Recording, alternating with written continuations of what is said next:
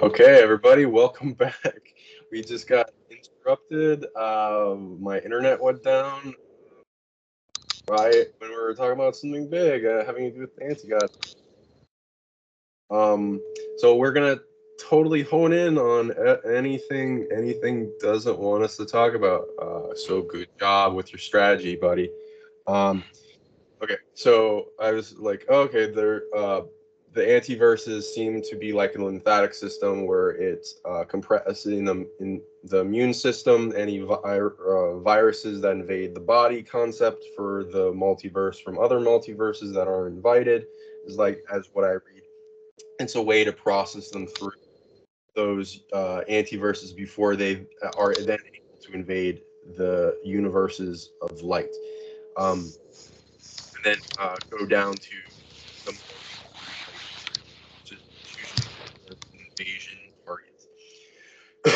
So Your voice is kind of fading out to me. I can't hear you for some reason. Uh, make certain that um, make certain your microphone. Hello. Can you hear me? Yeah, I can hear you. Okay. It's low though. Interesting. Okay. Okay, Hmm. better now. Thank you. Okay, so then uh, I also track back a bunch of these uh, concept uh, multiverses, ultraverses. Uh, I called another thing that's beyond those ul- ultraversal bubbles because it has a different form of space uh, physics that uh, I call this the plane of authority because it it uh, runs through a bunch of powerful source spirits to go through it's like a school and to become management and authorities in particular topics such as divinity safety love fortressing offense defense all, all, the, all these kind of categories of concepts and experience. So there's all and then those beings will sometimes form universes because there's a lot a lot of them that uh, will um, be advanced in uh, one particular concept and po- uh, possibly a few others, but like uh, will then also uh, bring in immigration uh, based on its rules. Uh, this universe that I found, and this in multiverse, is kind of like a melting pot universe, similar to the U.S uh, where it will take in all the the multiverses. Of, uh, its goal is to eventually take in all the multiverses. It started off making it more quarantined so that it could maintain order in the beginning, and then uh, once the invasion started coming in, it had to flood that in and prepare for it. Uh, but it, it's working up to then bringing in the more darker things as an equation so that it can resolve everything to eventually peace or some t- form of unity or uh, order in working with them all because then that grows a bigger authority to affect everything else um, so I, I do track back a bunch of these evil universes or like pure evil chaos evil uh, order evil, uh, a lot of uh, concepts of uh, toxins, these uh, things bleeding over that are similar to Stephen King's Mist, uh, like in some of the things in uh, the Antiverse. Uh, yeah, not all uh, of these beings on the in the Antiverse are like bad. They're more oriented to being top predators in in their space. Um, so their moral code is different uh, in natural law because it's like everywhere. Um, but there are like ex- I've seen some exchanges between the antiverse and this one, like uh, with uh, you know S- Satan, whatever you want to go into. Like I- I've seen a lot of predators claim to be Satan. Uh, it's like the, it's a continuous like uh, Wizard of Oz thing where something wants to replace it and and uh, prevail this like uh, unstoppable power, and a lot of them get like run through or destroyed, and then something replaces them. But a lot of like with you where you said set, uh, yeah, Iblis or whatever, um, uh, some other apex predators of the past from different countries like uh, will take up that that title and, and ones I've seen inv- invading from the antiverse also like to take that title when they're presenting themselves to other people because that's the well-known term that like scares the shit out of people. um, and uh, yeah, uh, yeah, there's uh, I believe a remedy that Earth is trying to do to get the Machiavellis and divide and conquer thing that's being put on the ones that are on ultimately on our side for Earth back into unity against this ultimate evil that's not having any per- good purpose. Mm-hmm. What what are you what are your thoughts? Oh, just thank you so much for that, and uh, definitely appreciate it. I think that uh, your experience has been so profound that you have a uh, profound view of uh, the multiverse, and uh, your multiversal perspective is certainly appreciated. I do want people to understand that, uh, of course, I work with the cosmology that pretty much has to deal with the universe that we're in. And um, I do believe that concentrating on some of these potential universes or uh, parallel universes, uh, it can, of course, uh, distract us. It can serve as a distraction, and many people uh, kind of uh, lose themselves. They lose themselves uh, in it, and it's something to just be um, aware of uh, that um, uh, some places are just not meant for people to go into. Uh, and uh, what, what it does uh, create, however, is a fascinating potential for understanding uh, different developments, developments that might have been historically or that might yet be historically. So we would, um, in the old think tank days, uh, we'd consider this a kind of uh, kind of gaming. We'd game things out. Now, what's strange to me here is that uh, you know when I'm putting the screens up and down, sometimes we're getting a glitch. I hope you're not getting that same effect, but uh, we uh, otherwise on my end, but like it, it's kind of going away every now and again. So it, yeah, they're they're trying, but you know, yeah, kind of stuff, but yeah. Yeah, no, so uh, see what they don't want you to talk about. I, am sure you have some intuition on that. Yeah, and uh, well, I, I, think what they don't want to skid into too much is the vampires. Now we came here to kind of talk about that. Our man uh, has has talked about the book, and what I will explain to people is how we got into kind of a conversation when our man Sean Bond got knocked off the internet. So just so everybody knows, this um, entire interview is going to be like um, stitched together when uh, he's done with it and maybe kind of broken up into parts and stitched together again. But uh, however it works out, uh, we covered so much basic ground and I don't want us to get too far afield. And um, so when he uh, uh, brought me here tonight and we talk a bit about my background and we talk a bit about vampirism, you're not going to really understand what I'm saying about vampirism unless you get the book. So I do want to give everybody a bit of a background behind the book, but uh, just basically buy the goddamn book and uh, you'll be able to understand. What I'm saying understand that it's only half a book. It's uh we had to get everything we could cobble together out as quickly as possible so that we could uh, basically cement copyright on it uh, which is something that i was always leery to do uh, because uh, of the uh, of uh, but by the way you can take a look at that picture of me on the back of the book uh, the front is my mother but in the back i look horrible uh, more like uh, Christopher Christopher Walken than myself, and that is because I was really worn to death. I'm sorry. Yeah. This is your mom. Wow. Yeah. Yeah. Yeah. And uh, the uh, but I'm sorry. That's a good picture. Well, thank you. Yes, and uh, the when it comes to the um, a picture of myself on the back, that was after years of taking care of my parents and their decline and uh, that was uh, my mother entered uh, decline through a catastrophic brain injury, uh, which would have killed any baseline human being. Uh, but um, of course, she was half vampire, um, half vampire, and I myself am a fourth vampire. Now, there's a technical term for that. It's quite real. You can look it up yourself. Called damfire, meaning that somebody who's not a full-blooded vampire.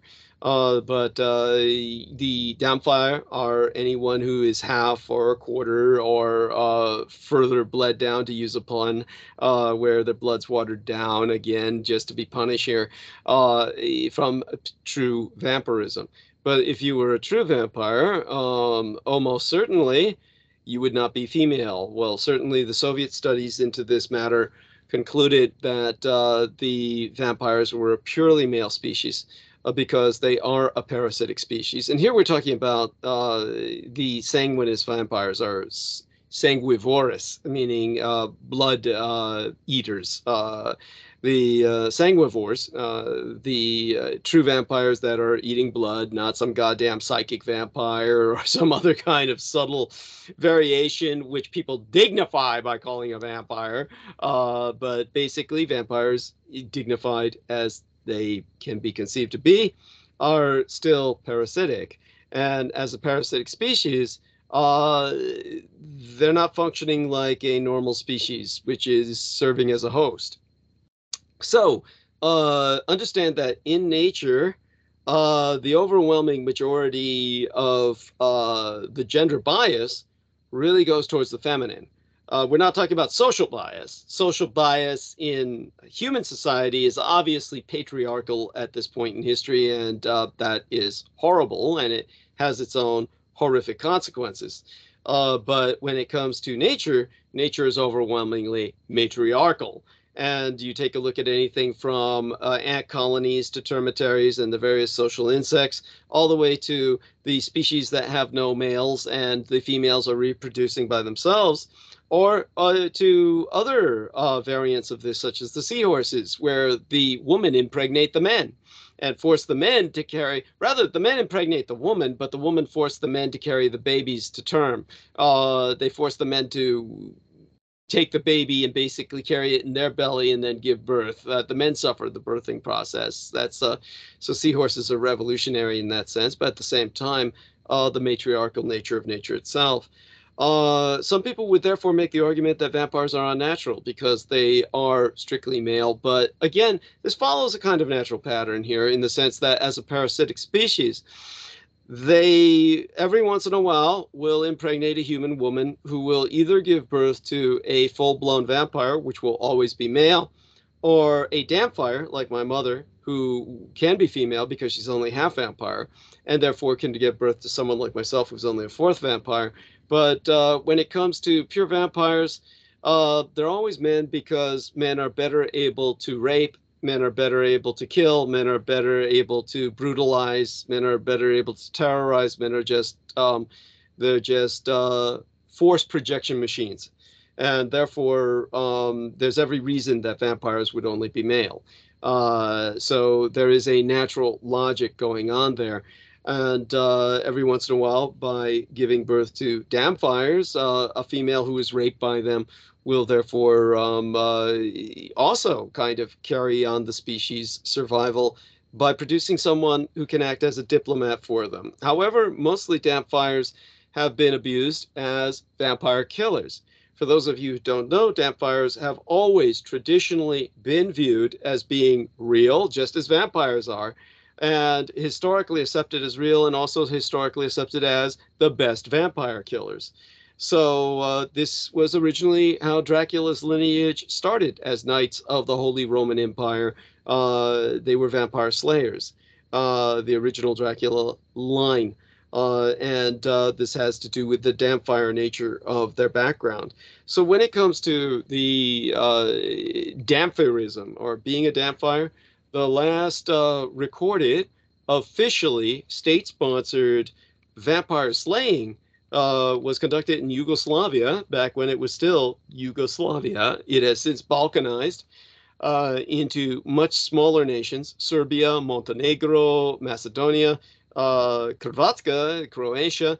Uh, all of these uh, smaller nations were once part of a federative socialist Republic of Yugoslavia, and it was in that communist republic that a state paid for vampire slaying took place conducted by a dampfire, someone who was a vampire. This was in the 1950s or 1970s. Uh, I'd have to look back through my notes, and it's it should be in the book. If it's not in the book, um, it's in the part that's missing from the book. so, just so people get that. Um, and we'll get back to what it's like to be a vampire uh, in a sense where i was talking to our man uh, sean bond about that when we were offline uh, here's the deal that um, you need to understand um, uh, with the book uh, basically i was working with a when i first came out as a public informant uh, 2000 and by the way if you ever hear various cultists of the kings of edom uh, that are attacking my character. Uh, they say all kinds of bullshit about all kinds of crap, and uh, uh what they really get mixed up is the chronology. and understand that I started appearing on Coast to Coast AM as caller back around the time my parents were still alive. So my father died 2007, my mother died 2011. So I was really starting to come out around 2007 and started appearing more and more on Coast to Coast AM as a caller and uh, got on Coast to Coast AM itself as a guest around 2011, 2012. So uh, we're talking about that period of time when my mother died was the year of Fukushima Daiichi, same month, as a matter of fact, same week. Uh, and uh, so within that span of time, uh, I was already a public informant. Now, by the time that my mother died and I became a uh, public informant, fully outed as such, uh, then of course Colonel Michael Aquino dispatched assets of his uh, to try and maintain some kind of handle on me and uh, tether me, uh, keep me kind of uh, under control. And so Lorien Ann Fenton was the first of those. And Lorien Ann Fenton wanted to take advantage of the fact that before I met her, uh, before she was dispatched uh, as an asset assigned to uh, basically handle myself, uh, maintain me under control, uh, in the sense of preventing me from uh, basically accessing the public to any great degree. and by the way, you might say, knowing this, why did you take her on as quote unquote a manageress? understand most of the people out there who don't deal with espionage, you don't realize that as a spy who comes in from the cold situation, you don't really have a choice. Uh, it's better that than having people constantly trying to kill you. It's better that than having to deal with so many other burdens. Uh, and uh, at any rate, uh, it's almost impossible to do anything alone. So you need to almost team up with even an assigned handler to get something out there uh, than doing it by yourself where you can't get anything out at all. So there's a you may be turned into at least for a time controlled opposition, but um, otherwise you won't get anywhere. So I had to get started, get on um, some platform. In my case, it was Revolution Radio. I wouldn't have gotten that without Lorien Ann Fenton. Um, so it was there was all this that is the nuance of the situation. Now, when it comes to the some of the nuance of that situation, um, when I was working by myself, my mother's still alive, still taking care of her in her final days. I was involved as a public informant with an idiot. I think his name was John Michael Greer, I think, who ran a show called ShadowsInTheDarkRadio.com. He was loosely affiliated with Ripley's Believe It or Not, and he was he purchased Mysteries Magazine. Now, the woman who had Mysteries Magazine ran it for years successfully. He purchased it and ran it to the ground in two issues. Basically, two to three issues, it was dead meat in the water. Uh, its main readers as a pulp rag magazine, in other words, uh, you know, paper magazine, actual product, were prisoners and the military, and uh, which is both kind of like the same audience. Uh, so um, he refused to do what I suggested, which was look, you own the magazine, you can produce a special issue anytime you want. And I produced a very long uh, article for him at his insistence so he could publish it, and it never got published. So we decided to expand that into a book. But the article he gave the stupid title because he wanted me to write about both vampires and zombies, neither of which are undead. that is an ancient superstition Um, vampires are very much alive. Zombies are impacted in such a manner that you might think they're dead or reanimated, but they're technically alive.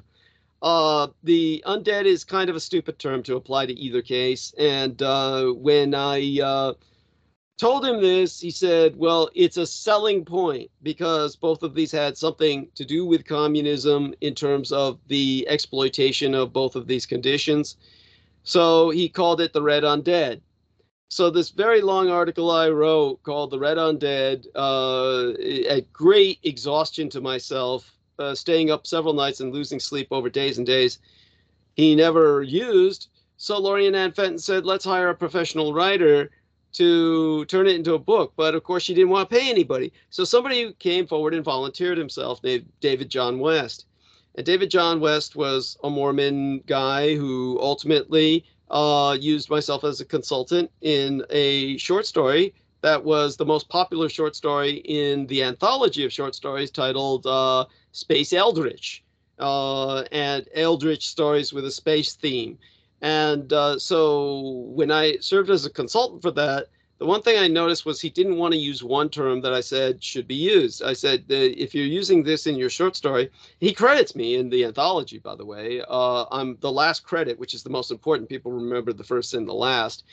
Um, I'm the last guy he credits as a consultant, and uh, everybody loves his short story. I always thought we should have written many more of them, but um, he and I never found the time to get together. And then somewhere along the line, he grew to hate me but um, originally, we were very good friends, very intimate, shared quite a bit.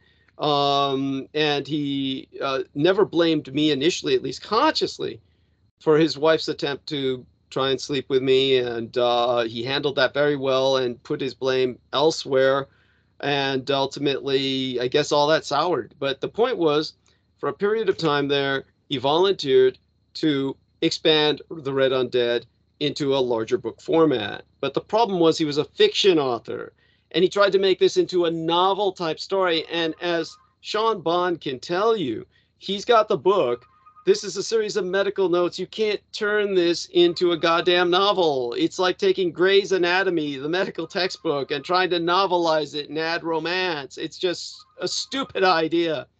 And it doesn't uh, work at all he was trying to basically take the fact that I had encountered one of these artificially created female vampires, which the Soviet Union had created. It tried to create female vampires, and it did so by the most primitive method in the days before genetic engineering through medical and surgical means, basically supermassive blood transfusions, uh, killed most of the people that they worked with and uh, wound up uh, finally succeeding with very few female vampires created artificially. And uh, those that survived the process in mind and body, because understand, this isn't something like you just are. It's not something even as simple as, say, for instance, look at this. You know, a woman becomes pregnant and her body is built in such a way that it can accommodate that. But she changes. Her her very bones begin to warp. Um, what's inside her takes so much energy. The woman take, literally changes shape. So, say the woman gets an abortion, and what that does is it takes that bodily rebalance and takes away the cause of that bodily rebalance, and she's not pregnant anymore, that alone warps again the physical nature of everything she's contending with. And and so just as the postpartum blues delivering the baby creates suddenly the loss of what she had bonded with, carrying this being under her heart for nine months, and she's left with this sense of loss and and depression uh, you get that instantly with the abortion, and you get everything changing. For men can never begin to even comprehend the the horror of pregnancy, uh, of eating for two people. Uh, it's a terror, like having a tapeworm that's devouring everything you're eating. Uh, the everything about that if you were to suddenly become a vampire, and not even suddenly, these women who were made into such by the Soviet Union had to go through months and months and months of torture uh, to transform. Think of something far beyond pregnancy. You're changing what you subsist off of. You're suddenly subsisting off of blood. Your entire body changes to accommodate that you're no longer going to think the same way. All of the processes biochemically have changed. So you no longer think like a human being. You are now thinking like a non human. You are thinking as someone who is beyond human. So uh, basically, you are no longer part of the human link in the food chain. Uh, for all human beings, you all think that you're the apex predators because you have denuded the earth of entire species. But the reality is, you're not at the top at all. You're towards the middle. Human beings are at the same level, somewhere between an anchovy, and a pig.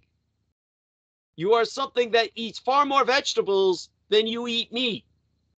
Now, granted, there's plenty of Americans who have done their best to warp that diet and eat as much meat as possible and almost never touch their vegetables. But the reality is, humanity as a whole is far more vegetarian than it is predatory in nature subsisting off of meat. At the top of the food chain, apex predators are pure meat eaters. This is all they're going to eat is other forms of life. So human beings are nowhere near that. In fact, if a human being were fed nothing but meat, they would die. they would die fairly quickly.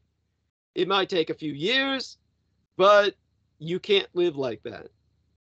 This is hence the balanced diet. So you are not like my mother. My mother was very close to an apex predator. My mother hunted people down and killed them and drained them of blood. She could do that. I am only a fourth vampire, not half. I cannot drain a person dry. My mother had the capacity physiologically to hold 12 liters of blood, that much blood from an adult male in her belly, like she was suddenly pregnant, like a camel hump. She could carry that and sustain herself for weeks from an exsanguination, from draining someone dry. I do not have capa- that capacity to imbibe that much blood. So when it comes to the human trophic level, your ability to subsist off of sustenance, if you were on a scale of one to five, a primary producer would be a plant, and five would be the apex predator, a pure animal that eats so much off the food chain in terms of meat that it has few predators of its own. Between that, human beings are in there in the middle, uh, 2.21 on average. Uh, basically, uh, roughly equal to an anchovy or a pig. So, all of you think differently because of it.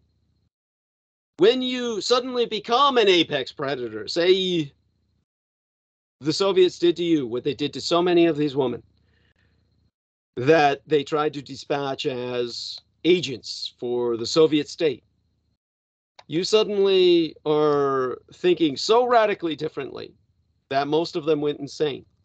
They simply could not maintain the sense of balance between their new diet and anything that anchored them to humanity anymore. Since other human beings become food to you, then you can't relate to them. Do you understand what I'm saying? So, since you can't relate to them, since they're like cattle, then your ability to even talk to them diminishes. So, this is the issue to understand. People have romanticized vampires and they think of them as some of the most elegant and uh, erudite and well read and uh, sophisticated cosmopolitans around, urbane and seductive. And all of this is a product of the Dark Ages and the Black Plague. During the time of the Black Plague, vampirism became conflated with nobility because of the ignorance abounding at the time. And it was due to the fact that the nobility imbibed a lot of silver to ward off the Black Plague. Now, colloidal silver no longer does this. You can imbibe colloidal silver that's on the market, and unless you're imbibing toxic amounts of it, you should be fine if you're taking it at a controlled level responsibly. But it's an antibiotic. And in the old days, they used pure silver, silver coins, as an antibiotic. The metal would destroy many, many of the germs that were in the water. Uh, so what the nobility would do would be they would liquefy it through their alchemists into colloidal silver. And this was edible, potable. So when their alchemists did this during the Black Plague, the nobility would be drinking this on a daily basis and they would never get the plague. But at the same time, the effect would be to turn many of them blue. You can look up a case of a man who took too much colloidal silver and he turned blue. He, they called him Papa Smurf. There are also people, entire tribes, born with this condition, some morbidly inbred families in the Appalachian Mountains, for instance. And this is uh, basically a kind of uh, blood change, hence the term blue blood, uh, affiliated with nobility. They called them blue bloods because many of them had turned literally blue. Now, to the peasantry, they looked dead. And the peasants began to wonder why are so many millions of us dying? But the nobility has turned blue and they survive, they never die and it was assumed the nobility was undead, that they were living off of the deaths of everyone else beneath them. And therefore, the peasantry began to affiliate the nobility with vampirism. This is how that concept developed of Count Dracula, of the Baron. Uh, oh God, who was the uh, Strigoi type of vampire, the one, the Nosferatu, uh, all of this became conflated in the public mind with the nobility also being evil to the point where people thought, oh, nobility is evil, nobility is parasitic, uh, we must get together with our pitchforks and torches and burn the castle down. This is what led to peasants' rebellions that had to be put down by the dynasties. But this is where the concept comes from of nobility, blue blood, and vampirism all conflated in the public mind into this idea of the erudite, educated vampire. Now, the only reason the original Vladislav Tsepich, Dracula, fit into that stereotype was at the time that he was originally a vampire, vampire hunter. His father was half vampire. He was a fourth vampire. He was like me. But he suffered on the field of battle a near death experience. And in his case, his clinically dying, as I did, triggered that recessive gene. And that triggering of that recessive gene enabled him to become far more hematophagic than he was before, and he was able to take blood as a subs as a essence of sustenance, which before that period in life he had been unable to. Now, I have been clinically dead. So, in that sense, I am arisen. In that sense, it was the same with Dracula, the original, who became Nosferatu Rex, the king of the undead. The reason why? was because, as someone who became vampiric because of the recessive gene kicking in with the near death experience, basically, he was undead. So, again, conflation, confusion. Is a person who suffers a near death experience undead? Of course not. They are as alive as you and I. And vampires are alive. Uh, they do what they can to mimic the dead, at times as a survival mechanism, like playing possum. And that was why they became conflated again with the undead. Also, they spread rabies or have the potential to spread rabies. Uh, and as a result, you suddenly see many people who degenerated and they thought of these people as being vampirized. Uh, this is what I go into in the book. And the problem was when we were dealing with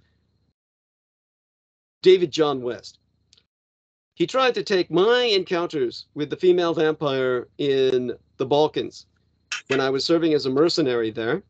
He tried to take that and romanticize it and turn it into a love story on which the rest of the narrative would pivot. And I said, I don't want to talk about it. It's a very private memory. Other than sharing the fact that it happened, I was not going to go into depth with it. And he therefore had nothing to work with. And he was fired from the project. So when he was fired from the project two years later, we got it published, even to the point where it has an ISBN number. It's on Amazon. The Red Undead is on Amazon with an ISBN number, ISBN. You don't get that unless a book is published. It's like a social security number. You don't get one unless you survive the birth canal. Once you get out of the birth birthing process, if you make it through that, you get a social security number. So it was published. He suddenly uh, was recruited by one of my most active gang stalkers to claim it was never published. And that way, he telegraphed before he punched. He rattled before he struck. I knew, holy shit, he's going to take all my notes, he's going to publish them and claim they're his because he was given the credit of being the co-author on the Red Undead because we felt he had volunteered his time, he got fired, so we just left his name on as co-author. It's kind of like just as he had credited me for as a consult for his short story in the book, uh, the anthology Space Eldritch. So he was going to now run with it. So we had to get something out there immediately. And what we did was we cobbled all the notes we could together that we got out there immediately, but half the book is missing. So when you buy Vamphyrology, you get a lot of the physiology of the vampires, but none of the history, or not enough. All of that will be presented when we revise and expand the book, and we will do that. But enough of you have to buy this one. I swear to God, this was never intended as a marketing gimmick. Honest to God, no, just go go for it yeah as you're the... as you're talking we're we're getting a lot of hits um in the spiritual unseen a lot of like um can you feel any pressures on your head while you're talking oh absolutely by the way yeah. yeah yeah yeah, Uh, so I've been tracking it back, and uh, so like I lo- love that you're uh, brave in going into your uh, family lineage origins. I'd love to hear more on that, guys. Uh, I also have track back quite a, a bit of uh, DNA lineages in my mind. One eh, much older though, uh, so it's way watered down uh, into sanguine.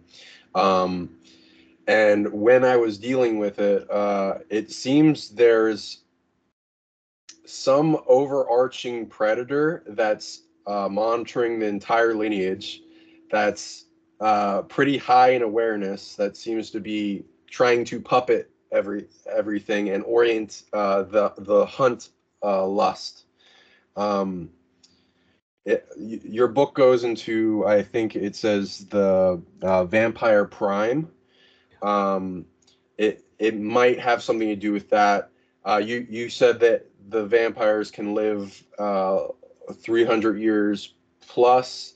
Um, uh, so I'm wondering if if they've um, accumulated like more mm, you know like uh, how some people are like uh, like oh i only need i want the best blood or uh, they are also expanding their their tech into stealing more than just blood but like the soul the life force the abilities the the part uh, soul uh, all, all these uh, subtle energy parts and authority. Uh, I feel uh, there's a predator that is trying to watch this, and I'm I'm letting them know that we're not here to threaten the vampires. We're uh, we I, I we both see them as a in, integral part of the yeah the, the, ecosystem the like system okay let world. me let me put it this way i i, I uh, it's important to qualify all of this i appreciate what you're saying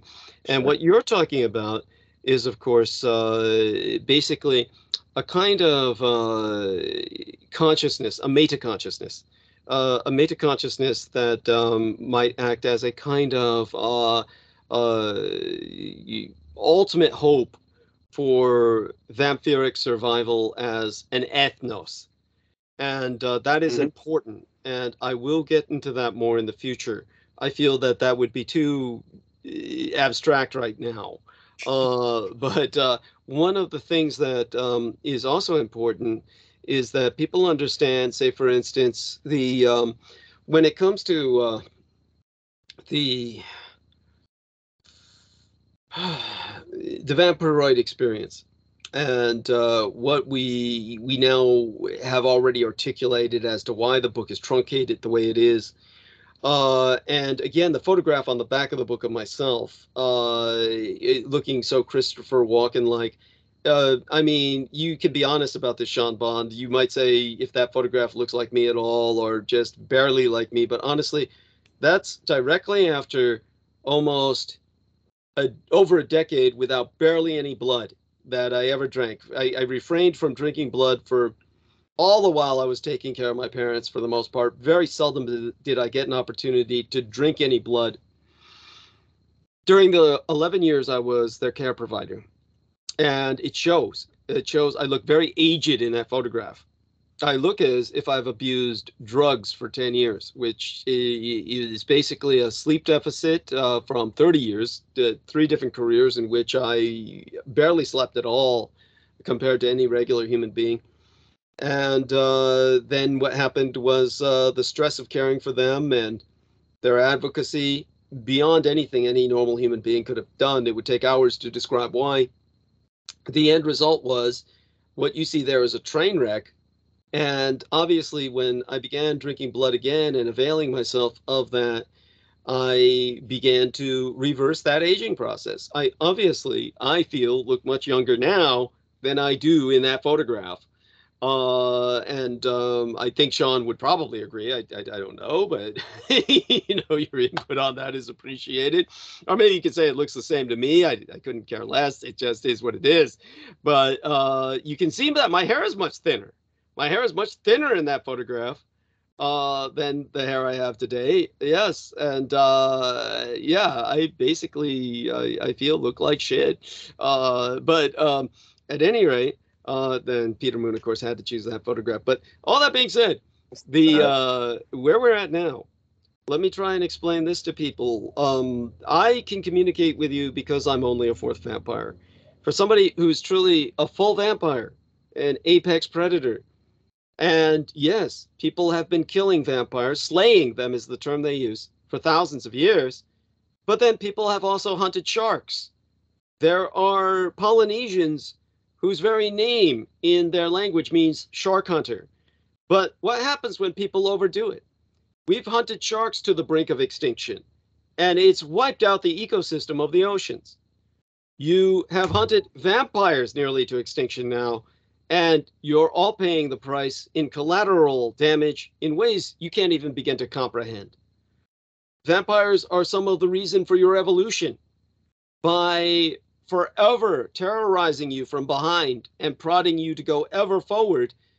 That's how you took the land away from the much more brutal humanoids, the hominids, that are known as the Yeti, the Agogwe, the Sasquatch. Mm-hmm. These hominids dominated the earth. And the only way you frail, pink, pale, vegetable eating humans, you hairless apes, ever overwhelmed them was because we continually terrorized you from behind in the dark at night. Homo nocturnus, the night man. And that's why you had to leave your caves and leave the dark and go out and battle the brutes and overswarm them and ultimately take half the world away therefrom. So you owe us your very existence. You owe us the reason that you're civilized because humanity suddenly developing cities, becoming social animals that were urban in nature, that is the equivalent of the honeybee breaking up its hive and forming separate family units instead of being a collective. That is so radical. What on earth ever provoked that?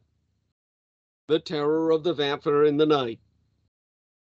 The hunter gatherer could not survive that constant predation and had to gather in cities for security. This is what created the essence of the night watchman. That required a police force. All of this you owe to us.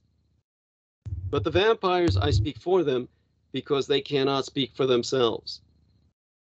The difference is, as apex predators, as all apex predators are, vampires are charismatic. They're not blue or deformed or undead. They're rather, imagine a Greek statue without an ounce of fat and alabaster white. This is the typical vampiric complexion and physique. So these men that look like Greek gods, like classical Homeric heroes, they are at a state of development that requires no maturity. As I was saying to our man Sean Bond when we were offline, think about that time that you were pre adolescent. There's a price to pay for the ability to reproduce. The moment a woman is able to bear a child, the moment a man is able to seed a child, you are on the clock. At that point, you begin to age really age to the point where your cells are no longer reproducing at a level where you're childlike. It's like an axolotl taken out of water and is no longer a water dog. It becomes a mud puppy, basically a salamander, and dies soon thereafter. The only way the axolotl can survive is forever being submerged in water and remaining forever fertile basically a fetus all their lives. Uh, and with the vampire, you're at that stage of cellular regeneration of a pre-adolescent. They mature only in the sense of being like an adult human, and this is what will happen with the wealthy elite when we begin using genetic engineering much more aggressively, and we enter an age of life extension uh, age repression, what they call the anti-agathic stage of human development. This anti-agathic stage is when those among us who are genetically tweaked basically have the injections required so that their cells begin to regenerate in the pre-adolescent sense, reverse their aging, stop aging, basically become a human being who does not age, once you are in that state, your mind changes and you are like a child who is pre adolescent. You are no longer on the clock where you're reproducing while you yourself are dying. The moment you go into adolescent maturity and you're able to seed or bear that seed within your womb to fertility and into uh, delivery, you're on that clock towards death. That's the price you pay for being able to seed new life. But when you're pre adolescent, through life extension, anti agathic technology, you begin to think like that pre adolescent again. Every moment of your day is the present moment. You no longer think on chronological time, you think in cosmological time. Just as a child, there's no sense of the past or the future in any great sense, every moment is the present moment. You are always in the moment. The child doesn't relate to adults. Adults are the voice in the background, like a Charlie Brown cartoon. Wah, wah, wah, wah, wah, wah, wah. The child relates to other children. You relate to your peers. And you relate to the cartoons you see. You relate to uh, very few things other than that which you grasp at the childlike level. But the one thing that you really relate to is that time is timeless. Everything takes forever. To a child, it's, are we there yet? Are we there yet? But when it comes to the vampire, that's where they're at. You're talking about someone who's never had to mature. They are aging at such a slow rate, they can live for two to 300 years. They are forever in the present moment. You are food to them. They have no ability to communicate or talk with you. It's like imagine an extremely charismatic, autistic child in the body of a Greek god, alabaster white, perfect physique, and unable to communicate. Yet most people would not be afraid of him because he's so sexy, so attractive. They would be seduced by him. If he can't talk, most people wouldn't care because he looks so fuckable. That's your average vampire. They can't relate to each other like children do because they're competitors. They range like wolves with their own territory. They don't pack. That's completely antithetical to their nature. They're more like lone wolves, every one of them. So they will fight each other for territory, for the bleeding. So once you enter that state of mind, your relatives would no longer look like anything you relate to. So anything you fantasize about vampires, get rid of it. Think instead in terms of an autistic adult extremely autistic adult along the further end of the autistic spectrum who is basically predatory uh, and has a, enough of a hardiness where they can be homeless and not have the impact that homelessness has on a baseline human. Uh, they can sleep in cold warehouses, mausoleums, and crypts so as not to be bothered. And come out and basically attack humans and disappear back into the dark. These are people who have no need to relate to anyone. They simply appear, take what they want, and they leave. Usually, anyone who survives their attack will be left with a fake memory because their saliva implants a euphoric. Uh, the uh, kind of tryptophan uh, that you find in LSD and other uh, ecstasy type drugs the dimethyltryptamine, the DMT. They, via their saliva, transfer that into your blood while they take yours. If you survive an attack without being exsanguinated, completely drained, your memories will be completely biochemically altered. You'll think you saw them turn into a mist or turn into a voron, a raven. And that brings us back to the totemic animal of Odin, which often visits Sean Bond. That is the totemic animal of the vampire. The blood-sucking bat is a creature of the New World. That's more totemic to the Aztecs and their blood sacrifices.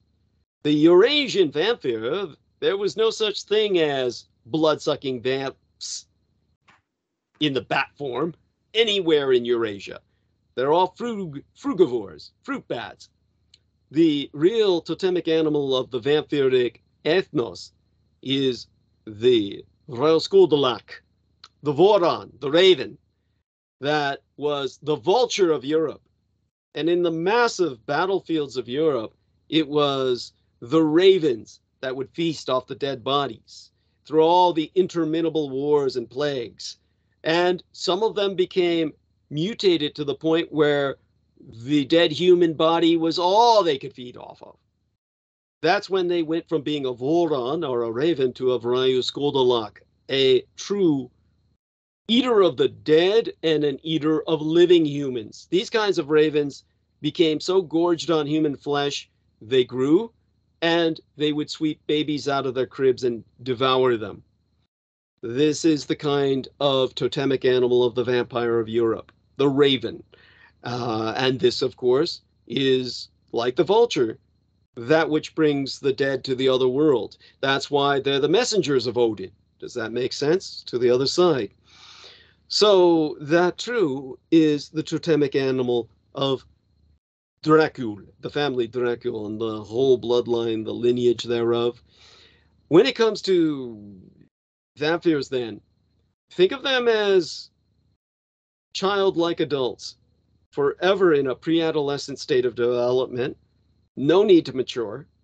Your suffering is funny to them, just like when a child looks at a cartoon and sees the Porky Pig or the Daffy Duck and they're hit with a hammer or a baseball bat and the stars come out and the child just laughs, ha, because the child has no concept of suffering.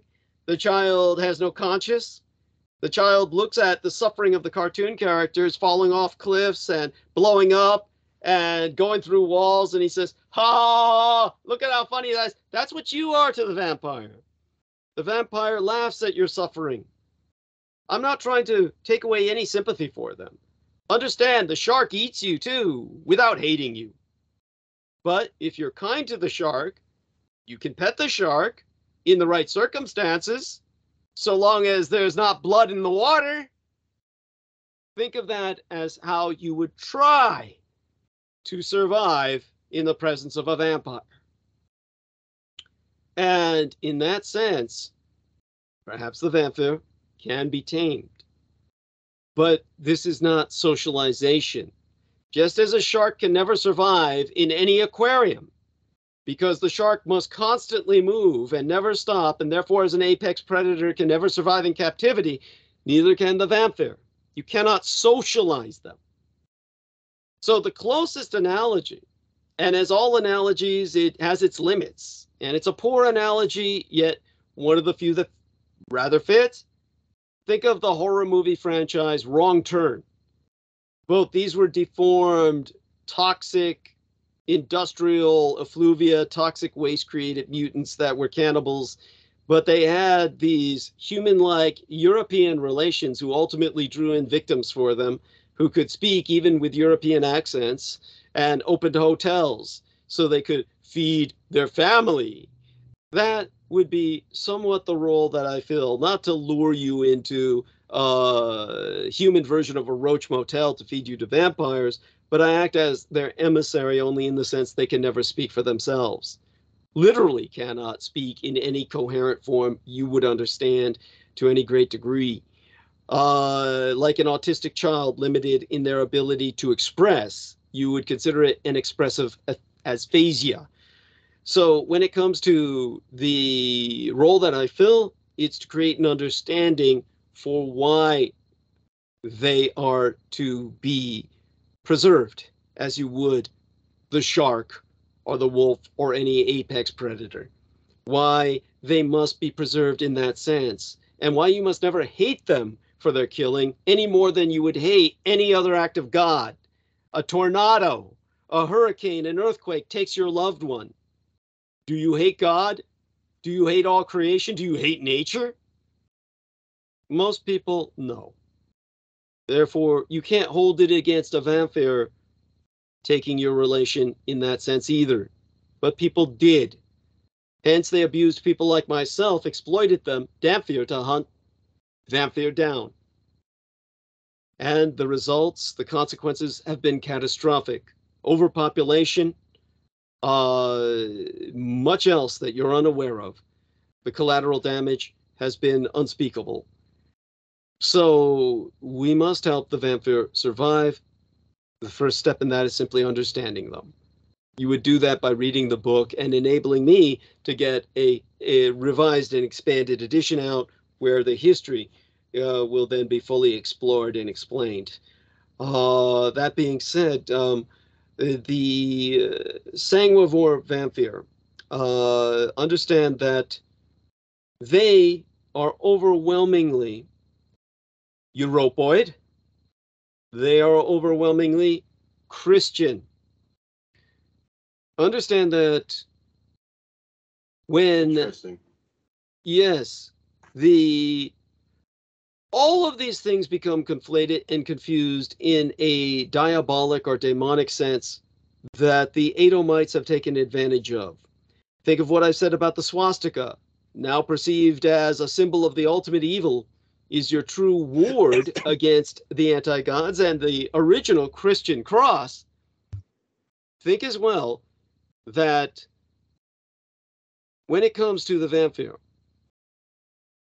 when you hear the term Edom that I have used, it simply means red, representing the red soil of the red lands that surrounded Israel at the time of the Canaanites and the Israeli conquest, the annihilation of that race when the Israelis stole their land and the Israelis were surrounded by hostile enemies and the red lands to the south were known as Edom. Red lands, red. Adam, the name of the first recognized man, fully recognized because he became cognizant of his humanity in a new sense. Adam was a farmer. He was white, he was Caucasian, he was in the Caucasus Mountains region, south thereof, where the very word Caucasian comes from. Adam was known as red. Adam, Edom, they're the same word, just in a different language. He was called red because white people are the only people whose blood can be seen in the face. This blood in the face is called a blush. When a white person blushes, they blush all over. It's a bodily flush. However, since most of the time you see them with clothes on, you see it only in the face. But in reality, their entire body turns red. Hence, Adam had this complexion. Hence, he was called red. Also, he worked the red soil, the red earth, and it, hence was known as red as well. All of this is important because Adam, Edom, one is known as pure raw evil, the other known as the father of man. He was the father of man in this sense. He was not the first man in the biological sense. He was the first man in the conceptual sense because Adam working the farmland had to have a concept of seasonal time. You had to know when to reap, when to sow. And when he sowed, he knew he had to keep track of the seasons in order to harvest. Thence, he became the first man with a concept of time, and he introduced the concept of time binding, the calendar. And for that reason, Adam damned us all to time binding. Hence, he was the first man. He was the first man who developed a sense of cognizance of time, and that's when we first developed a sense of mortality. With the hunter gatherers who lived with the passage of time, moving their hunting grounds per the season, there really was no sense of time. A man died when he died. Most people died in their 20s. So when Adam developed the binding of time, we began to understand our mortality and our aging. And from that, he left the Garden of Eden. We left that garden of idyllic, Edenic existence outside of time, and we entered this trap of time that forever made us aware of our mortality. That's when we began to die, cognizant we were dying. And that, of course, is the change in all humanity where we left that Garden of Eden in the Adzai up there in today's Azerbaijan and the northernmost region of Iran near Tabriz, all of that northernmost region of Iran, where Aryan man came from, the very name Iran is simply the word Aryan in Greek. Aryan transliterates into Iran in the Farsi language of Persian from the ancient Greek of Alexander the Great, who conquered that land. And so here you have the Caucasoid vampires who subsist off these humans, these farmers. And of course, when you think of Adam, his righteous third son, the righteous third son of Adam, not Cain or Abel, but the one who did as he was told, was named Seth. This didn't in no way, shape, or form makes him satanic. In fact, he was the first Christian. It was Adam who told him that man would someday be redeemed. that he had seen the vision of the Lamb in the Garden of Eden, and he sent his son Seth to Christianize the Chinese. His son Seth went into the East, and when he went into the East, he was one of the founding fathers of the Chinese culture by teaching them farming. He taught them farming, and the original keepers of this tradition were the Magi. You can read about them in the revelation of the Magi, the Chinese mage kings out of the east who came from Jin, the land of China, all the way to Israel, which they invaded with a full army in their attempt to find the Christ. They are the people who baptized the Christ, who was originally just Jesus, son of Joseph, and they made him the Christ, which is a title. It is not a name, it is a title. The Christ means the anointed, and it's never awarded to anyone else before or since. So the Christ was anointed onto him. He had to have someone to baptize him to do that. It was the Mage Kings who did that, and there were 12 of them, not three. You can verify this by reading the Revelation of the Magi, which is translated from the Syriac and was written in Christ's time. It was excised from the Bible for political reasons by the church, which maintained the original copy, and that was translated by Brett oh, Loiter, I believe his name is. No, not Brett Loiter. That's a friend of mine. Oh God. Oh well, you look up the Revelation of the Magi, you'll find the author. Uh, and he translated it from the Syriac. I'm sorry. I remember you went into this. Uh, I was it was very interesting, uh, like bridging the East and the West and the, the origins of Christianity.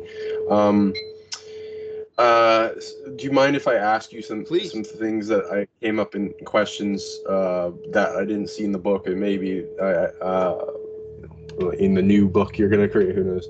Um, yeah. Uh, and before I, I, go into that, um, uh, you you did a good job in dispersing the the the, this this um, you know uh, I don't see them as a um, an enemy. That's uh, it uh, that's connected to our DNA lineages that is trying to monitor the the race of uh, vamp, uh, vampires and um, or vampire. Um, uh, yeah, let me finish one point though. I do want people to understand that the Mage Kings in China were their vampire. So it was the vampire hmm. who baptized the Christ. Uh, that's why they were worshipped as oh, mage kings in China. Go on. Uh, those vampires were intelligent. They were intelligent because the Chinese were able to basically bring them uh, criminals as sacrifices, a kind of human tithe. And they were therefore accommodated socially. And in that sense, it's not like true vampires are unintelligent. They're simply non-functional in a social sense. Rather, these vampires weren't very functional either. They were living a monastic lifestyle, isolated on the mountains, deep in meditation, receiving tithing from the society around them. They didn't need to interact with the society on any large scale. Uh, so their intelligence was more what uh, the people interpreted as magical. It would be like people who respected autistic people and respected their talents and accommodated them and uh, did so without demanding that they socialize. In other words, the relationship that developed was far more uh, mutually beneficial and therefore not so much parasitic as it is in the West or in the rest of Eurasia. And in that sense, because of their power, their strength, their longevity, they were considered the mage kings. In a sense, many of them were probably Dhampir, more like my mother, half breeds. And uh, in that sense, they maintained the cloisters in these hermetically sealed uh, monastic communities uh, because they were able to take care of their relations who were not so socialized as they. Does that make sense? Do you understand what I'm saying? And uh, please go on with your questions, that having been clarified. Cool.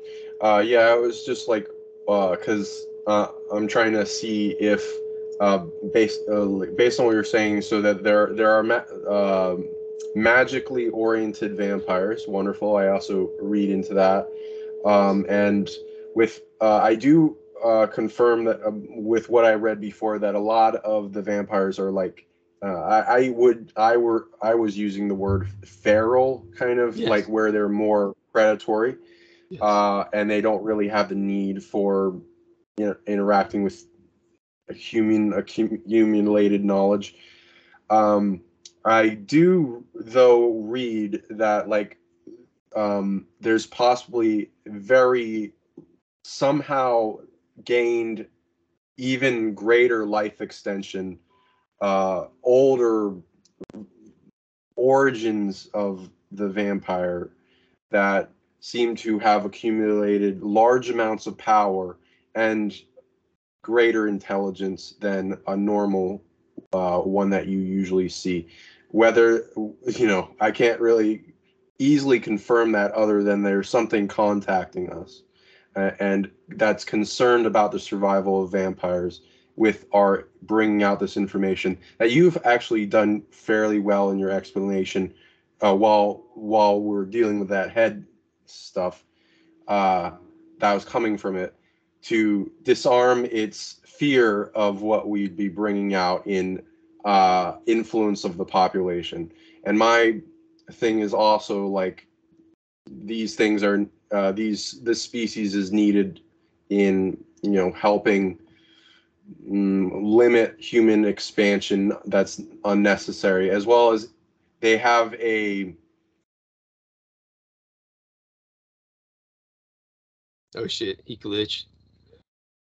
We glitched out, so Oh, we might he he might have lost the net. Did you did you lose, get did you get knocked off the net? Are we still on? Nope. Here do you hear me Yeah, yeah. Hello? Yeah, Cool. I hear you. Cool. Okay. Trust. okay. Yeah. So there's a there's um there's a there's a big drama that they're dealing with, and I think that that one that's listening through our DNA lineage will be interested to hear the solution for it. Uh, I see a pathway for its evolution. You also used a interesting term, not quite in the way that I'm going to be using, but like you said, uh, it's like um, their their ascension process or whatever. Um, um, uh, uh, it, it's I read if they align with Earth uh, in uh, in a really um, well established way in purpose, where like predator hunting dark predators of our species Yes, that that's my mother manipulating did. Go on. humanity. Oh, nice. Yeah, they get rewards from Earth for doing that. If they if they don't go after just innocence, then they can evolve quite nicely. And, and like you, your book even went into this realm, uh, Glacius, which I thought was interesting because I do read they have some realms uh, tied to them, uh, having to do with where uh, the lineage of the concept came from before it got to this Earth realm. Uh, and uh, yeah, can you go in, into a little bit of that, and then I'll, I'll like uh, go I'll like oh because well uh, and, and keep in mind that this uh, whatever if it uh, if it's in a body if it's a big overarching spirit that's looking over the dna lineage whatever it is it's monitoring us. Uh, thank you for being here and watching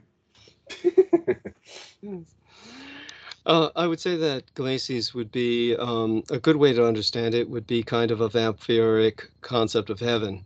it's kind of like where the sun never rises and the uh, it's eternal night and uh, it's uh, generally cold and uh, kind of what they would consider kind of an idyllic Elysium. Uh, in a kind of happy hunting ground. It, it would be along those lines of the Native American Indians had the concept of the happy hunting ground and uh, in the kind of uh, feral as our man sean bond has used uh, the the kind of uh, state that the vampires exist in the present moment um, Glacis is kind of uh, their version of that. I think that's probably the most adequate parallel that is comprehensible to the human mind.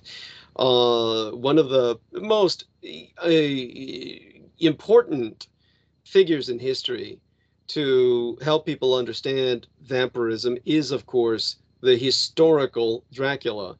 And it needs to be the character, the well, the historical individual needs to be disambiguated from the literary character. But nevertheless, the literary character also shows us certain public perceptions or misperceptions of the historical Dracula. Understand this much that is important. Um, the historical Dracula was originally uh, Orthodox Christian, which means part of the Church of Byzantium, uh, the Eastern Orthodox Rite Church, which utilizes the ancient Slavonic liturgy. And uh, this uh, church was the Church of Constantine. This was the original Byzantine church of the Eastern Roman Empire. Uh, what happened was the Church of Roma of the Western Roman Empire, that was a product that emerged hundreds of years later. Um, you could say it was the product of uh, fraud and forgery, in that there was a forged letter, uh, which then uh, gave rise to the Western European concept of the papacy. And this is not to insult or assault or somehow discredit the Roman West, the Western Roman Church but rather to put it in historical perspective, that was the reason for the schism and hostility between the two churches. So when the Church of Western Rome evolved, the Church of the Pope, uh, what happened was the original cross of that church is the church of the cross of St. Peter. As St. Peter felt that he was unworthy of being crucified by the pagan Roman Empire in the manner that his God, Jesus, was, the Christ. So he asked to be crucified upside down. The Romans honored this request and they crucified St. Peter upside down, and St. Peter's cross is the inverted cross. That is a legitimate Christian cross. The inverted cross can also represent the Christian sword of the military, uh, the militarized church, the militia Christi the warrior Christ. And St. Peter's inverted cross is why there's an inverted cross on the throne of the Pope. So the point is that Dracula grew up between these two worlds. His father, who was born into the Byzantine church, was nevertheless a knight of the Holy Roman Empire of Germania, the First Reich, which lasted almost a thousand years. The First Reich was established by Charlemagne and lasted all the way through the Napoleonic Wars when it was dissolved by Napoleon Bonaparte. And the First Reich of a thousand years was the whole the Holy Roman Empire of the German nation. And so you had the original Dracul, the father of Dracula, who was Romanian, but at the same time a knight of the Greater German Reich. And under Emperor Sigismundus of Luxembourg, the emperor of the Holy Roman Empire, it was Dracul, the father of Dracula, who established the Order of the Dragon, the Knights of the Dragon who were dedicated to slaying vampires and werewolves, the lycanthropes, that plagued Europe at the time. As a matter of fact, Emperor Sigismundus of Luxembourg declared it a law that if anyone denied the existence of werewolves in particular, they were such a danger, slaughtering thousands of people, that if anyone denied their existence, they would be burned at the stake. This was a problem that was so serious, Europe so plagued at that time by vampires and werewolves, that an order of knights was created to slay them. And Dracula was the son of the father who had established that order in the name of the First German Reich.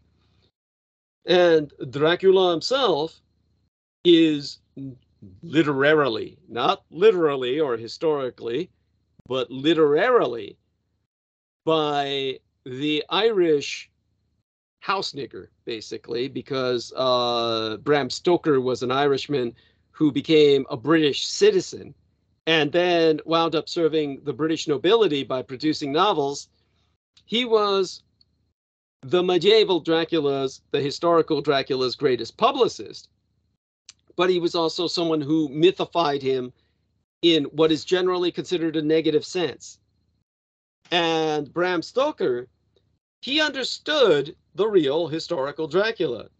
He actually was operating on the Romanian theme and it mutated as he continued to write the book. So if you ever read the original novel written by Bram Stoker of Dracula, the original novel says that Dracula, his coffin must forever have blessed or consecrated soil. In other words, he portrayed Dracula as a Christian. He said his soil in his coffin must be blessed, must be consecrated to help him maintain himself. That was his understanding from the real Romanian history. See, what happened was that the original Christian Dracula, Dracula himself, not his father, his father was assassinated. The original Dracula himself was someone who was considered the champion of Christ. He was someone who fought on behalf of Christendom against the Turks. He was a star crusader. And what happened was, in order to maintain Romania's defense, when he used up all of his own resources, all of his own financial ability to budget his conflicts, he had to turn to the Roman Catholic Church of the West to gain support from the Holy Roman Empire. So he converted from Byzantine Orthodoxy Christendom to Western Christendom, Roman Catholicism. At that moment, the church excommunicated him and declared, You will never know no rest. You will be undead. You will never truly die. You will be a vampire. And when that was stated by the Byzantine Orthodox Church, when they excommunicated him and cursed him, the Roman Catholic Church took him on and said, he was the champion of Christ. He was the hero of all of Europe, both East and West, at the time that he defeated the Turkish Empire, the most powerful force on earth, and saved Europe from conversion to Islam.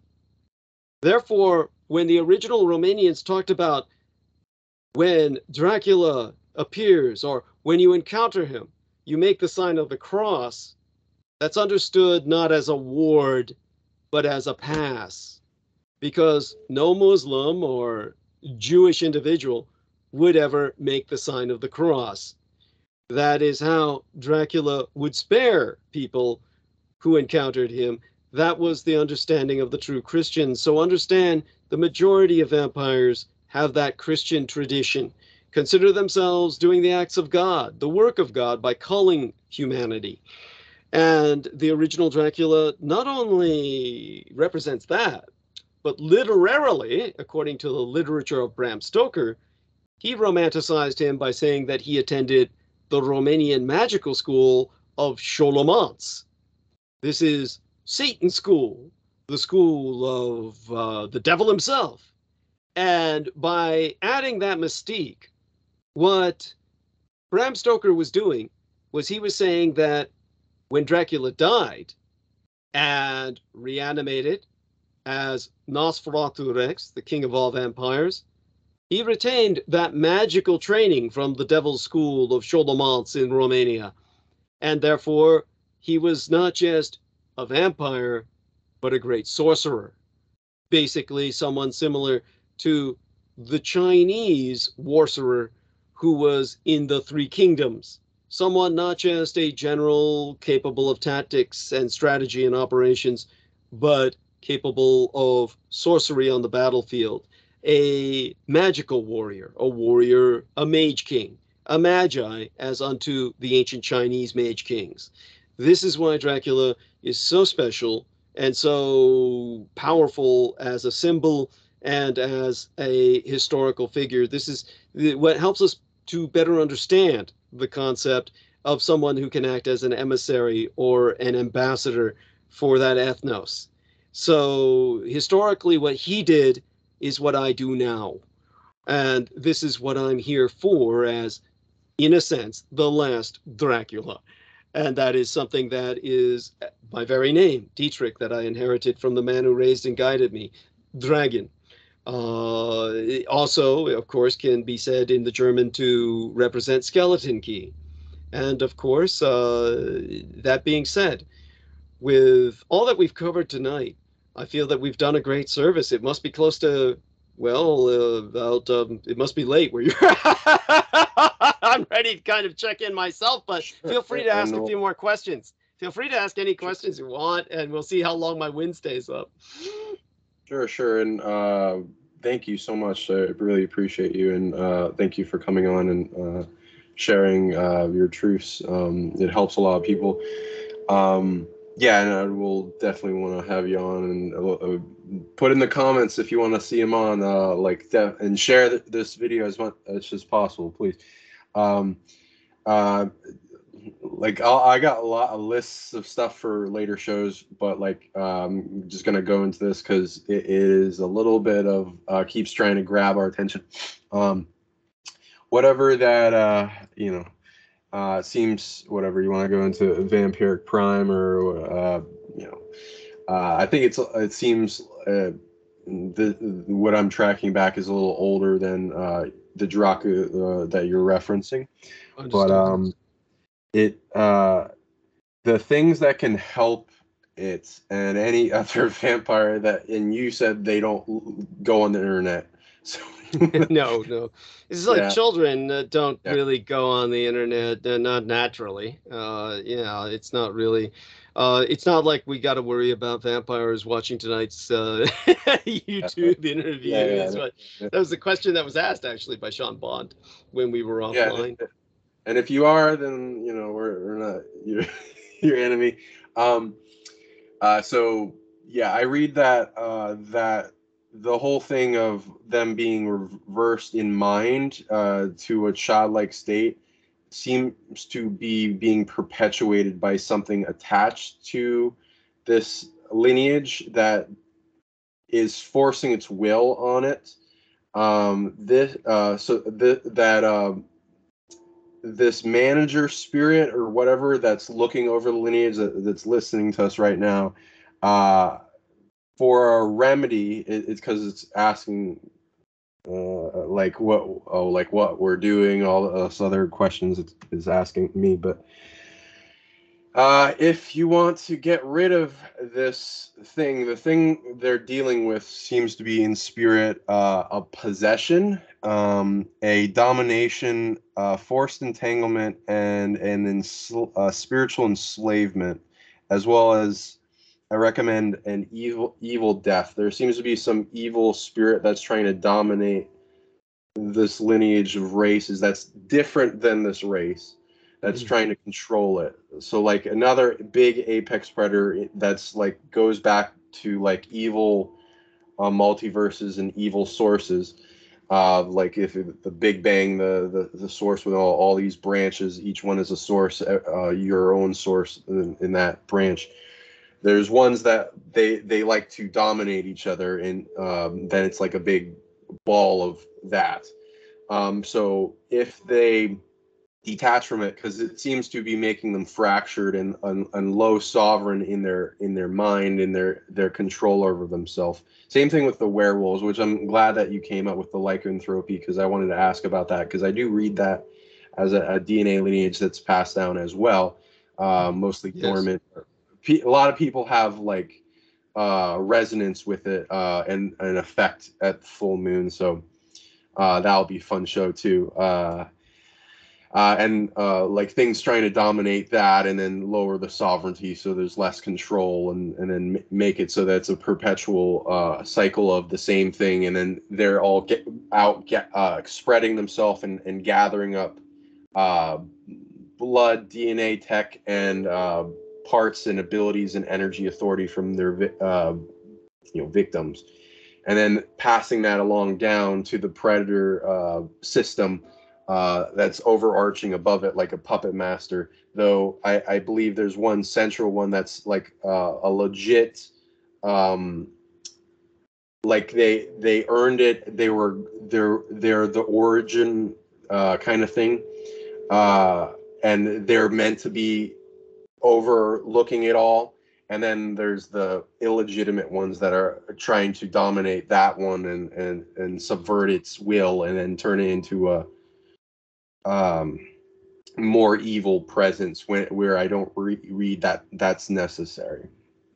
Um, so, you know, uh, it's already contacting us about that, but like, yeah, we can go into shows about like how to s- solve the that problem and make it so that because like that that seems like it would solve a lot of problems for the vampires if if their intelligence was able to increase uh in and as well as empathy in some way not like totally because that would be that would also get in the way of them in there. Predation. yes. yeah.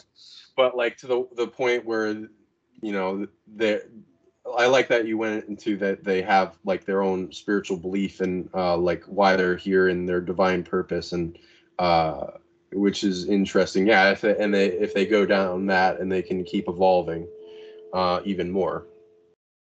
Because then there's a divine version of that. So Yes, I am very. Uh, I, I'm just so glad that uh, we made this happen, and we're going to make it happen again. And uh, I love you dearly, brother Sean Bond. And uh, I think you did a wonderful wrap up tonight. And uh, with that wrap up, uh, we certainly will speak again. You take care of yourself. Oh, and oh, I'm going to stay on with you. I mean, me? believe me, when, yeah, go on. can you plug your information and how people can reach you? Thank you. Thank you. You're so thoughtful. So uh basically so people can reach me almost anywhere. I'm totally doxxed and exposed on the internet, but try douglasdietrich.com. www.douglasdietrich.com. Bless you, dear brother Sean Bond. Yeah, and he got it right this time uh, before it was upside down. So he got it Oh, right. Yes, yeah. Vamphyrology. Oh, yeah, Jesus. Douglas Dietrich. Thank you. Thank you. And uh, bless you. And uh, yeah, um, you're an angel. Thank you, Sean. So that's available on the internet through Amazon uh, books. Just look up Vamphyrology, the uh, vampire research paper on Amazon. And uh, enough of you buy copies of that, and we can revise and expand it and get the whole story out there, uh, such as how Patient Zero was found, the connection to World War II, Operation Barbarossa, and of course the Nazi vampire units, the Nazi units of vampires. Um, so uh, it's it's something that is important, and that side of the story needs to be told to a greater extent. Uh, and uh, by God, um, uh, if you want to avoid Amazon for any reason, you can order it directly from Skybooks USA or maybe you can't. I don't know. but try Amazon for Vamphyrology and try my website just for any other information. Uh, and at the website, douglasdietrich.com, you'll find my physical mailing address if you ever have a need for that. Uh, so anybody who wants to send a check or money order, because I do need money to pay the rent, uh, by God, uh, you can send it to 1242 1242 Green Street, like the color green, San Francisco, California and the zip code is 94109. That's 94109. And for those of you, mm, and I do encourage this heavily, uh, who want to sponsor me through PayPal or just provide a contribution, uh, by God, that's uh, paypal.me forward slash Douglas Dietrich. Uh, so uh, paypal.me forward slash Douglas Dietrich. Any help you can provide will be appreciated. And of course, I have my own YouTube channel the Douglas Dietrich YouTube channel. Look up Douglas Dietrich on YouTube, and uh, you'll find that. Uh, probably along with all kinds of character assassination from the cultists of the anti gods, the cults of chaos, uh, and uh, have discernment. Uh, I trust most of you have enough common sense where you can see the enemy for who they are. And uh, when it comes to uh, what I'm sharing with all of you now, none of this would be possible without Sean Bond. So uh, bless him. And uh, Sean Bond, you are the man. Um, and we'll stay on call for a few moments after we end um, interview, of course. But uh, I'll let him in the interview with his own summation now that I uh, gave people what information that they need. Thank you. Yeah, and I'm Sean Bond of the SAC League, and you can reach me at sacleague.com for uh, in the services for like consultations and a bunch of video products. I uh, make a bunch of uh, videos on abilities to help people stabilize themselves, to heal, to overcome stresses and targeting, and uh, accumulating more and more abilities as we seek to empower our uh, collective and the, the collective humanoids and take uh, back their power from the the forces that wish to enslave us and hold us back from our greatest selves. And then I'm also on uh, League at YouTube and a bunch of other places you can contact me, like Facebook and other stuff. And yes, please donate to Douglas Dietrich. Uh, he uh, deserves it, and um, he for holding that much information in his head and and retaining it, um, very valuable. Uh, walking library of uh, a billion suns worth of knowledge. Uh, so uh, lots of stuff to bring out in future shows. Show us your love. Tell us that uh, what you think in the comments, and if you want to see more, please share. Share as much as possible. Get it out there.